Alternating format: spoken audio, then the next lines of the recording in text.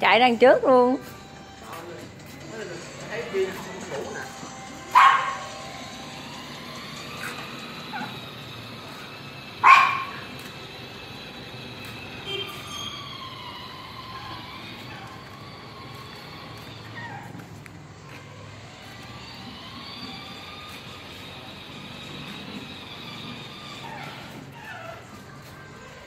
Ve lại.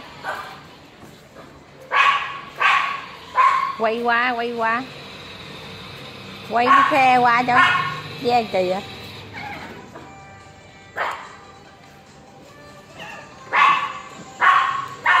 đụng kìa.